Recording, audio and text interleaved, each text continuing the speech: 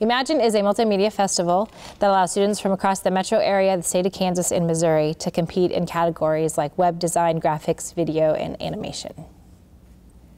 Last Saturday, Olathe Northwest E-Communications Department held the ninth annual eMagine Media Festival, where submissions are judged by industry professionals and professors, then awarded according to their rating.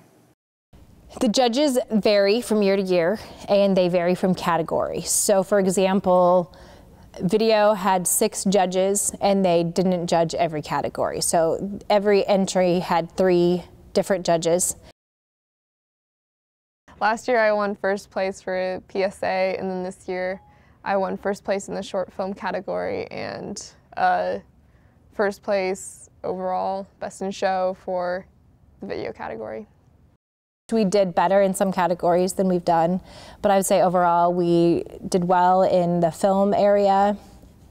A video, they won best in category this year, and actually I think we've done that for several years in a row. But to validate our work, those same entries that win here win in other festivals. The festival provides an atmosphere for healthy competition among students from around the nation. Just see what everybody else has done and potentially see uh, things that we could do better because competition's always good.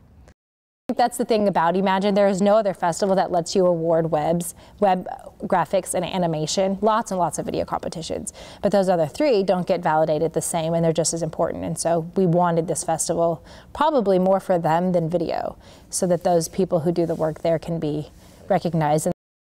Check out the Raven Daily website for upcoming information on how you can see some of the work that was featured at the festival.